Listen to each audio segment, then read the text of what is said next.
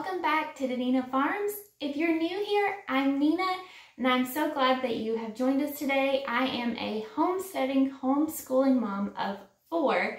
Here on my channel, we talk all about homemaking, homesteading, and homeschooling.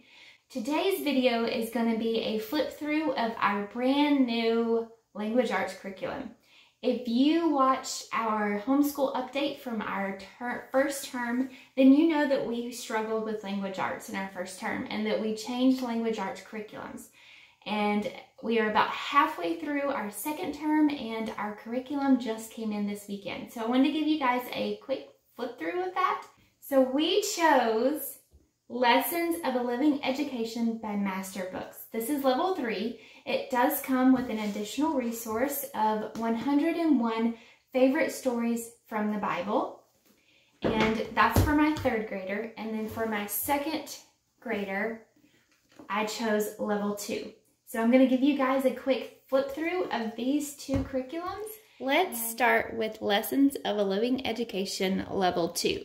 So they don't do grades, but I think it would kind of match up with what second grade should be.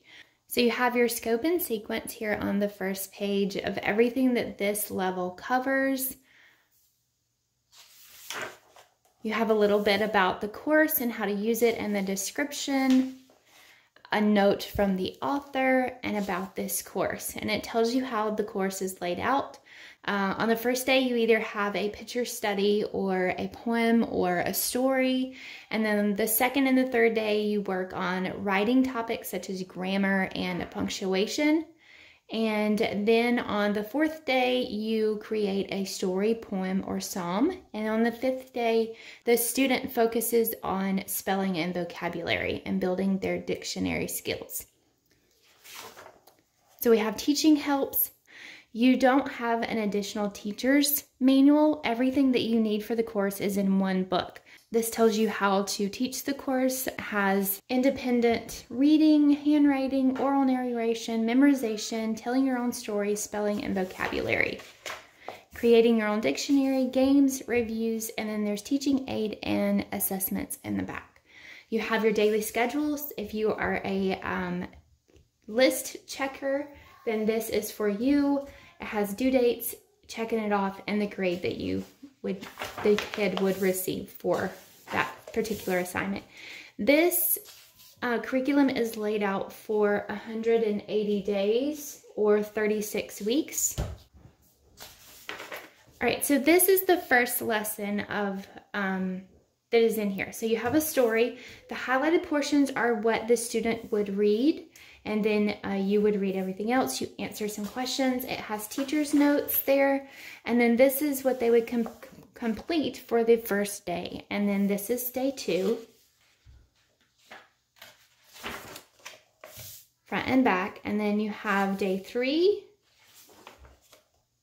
And then on day four is where they tell their story, they draw a picture, and then they write a sentence or two about it using the correct capitalization and punctuation that they learned in the previous lessons. Day five is where they would practice their spelling words and vocabulary. Um, and you could have them take a test if you want. I think the way that I'm going to use this is there are spelling words, spelling word list in the back is I'm going to give them their spelling words on day one. And then we're going to do like write the words five times, five times each, look them up in the dictionary, uh, write a sentence, that type thing, just to kind of so they can practice their spelling words throughout the week instead of getting them on Friday and only looking at them once during the week. Um, so then, then week two would be your picture study and it's laid out the same exact way. And then on week three, you're back to your story again. So that continues through the book and the spelling words get harder as you go. The story, they start to read more in the story. Um, just kind of flipping through and showing you what each, some lessons look like.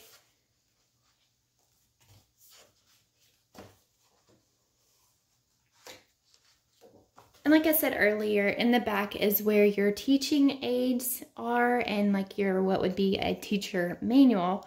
Um, you could take this out of the book if you wanted to, or you can just leave it in here. Um, so some things that are in here are assessment charts and reviews, independent reading list, recommended book list for reading practice, um, the pages that you would use to use to create your own dictionary, activities and games, spelling trap spelling um, practice. And then for the student, you have your uh, spelling list that I was talking about, sight words, alphabet practice, copy work, days of the week practice, month practice, number practice, contraction practice, title practice, calendar study sheets, grammar sheets, and then you have the answer key to all the sheets in the back as well as re the review answers. So just to flip through that, like I said, here's the assessment charts to keep up with the grades. Here are um, some reviews if you wanted to use those. Um, and it tells you up here when to use it. Here's the independent reading list that you could keep track of what your kids has read. Here's some rec recommended book for early reading. And then here's the pages that you would use for creating your own dictionary. And then here are some games that you could play to help reiterate some of the skills that they are learning. Um, and then it goes into spelling practice, how they can, games that they can play to do spelling practice, uh, creating your own spelling list. And then here are the spelling words and it's laid out by lesson, by week. Here are some sight words that would be helpful to memorize and to master. Here's alphabet practice. And then here is the copy work practice for um, like different language arts skills. The days of the week and the months of the year and the abbreviations, number practice and the spelling of all the numbers, different titles such as Mr., Miss, Doctor, Reverend, and then study sheets in here to just go back and reference if your student would need to do that. And then in the back are the answer keys. And these programs encompass picture study, memorization, grammar, punctuation, spelling, vocabulary, observation, poems, psalms, letters, application through creating their own stories and pictures from sentences. So now let's look at level three. It's laid out pretty much the same exact way as level two.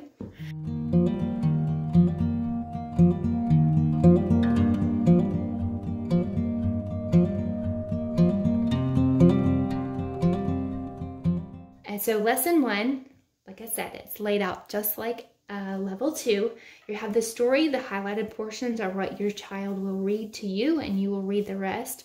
They have narration questions here. Um, teacher, all the teacher notes are here with the little apple beside it. And then this is what they would complete for day one. Day two is practicing the alphabet and writing lowercase and uppercase letters.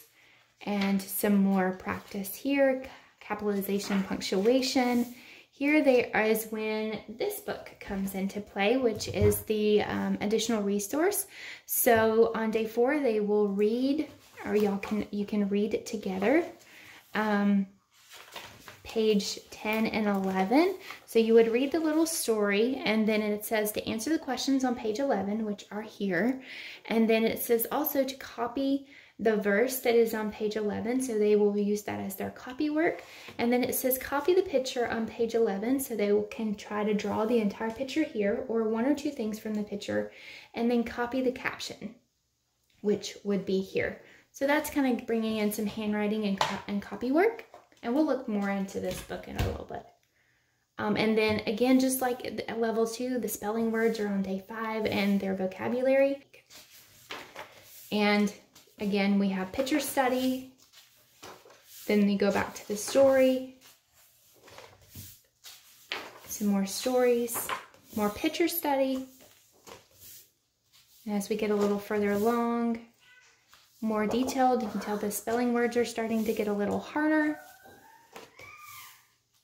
Working on more um, sentence structure here, or pair how to um, form paragraphs and write those, the difference between 2, 2, and 2.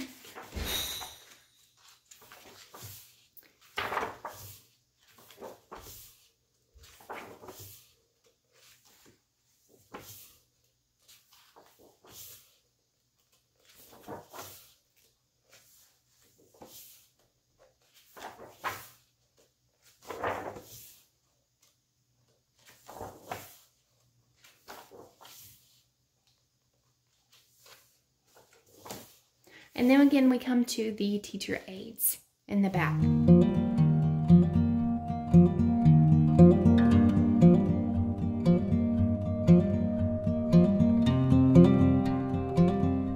Level, it gives you a blank spelling list on uh, week 9 and then week 18 so that you can add in your own words or if they needed extra practice on certain words, you could add those in. So this is the book that comes along with level three. As I told you earlier of how you would use it, I'm just gonna flip through and show you some of the um, stories that are in here and the pictures.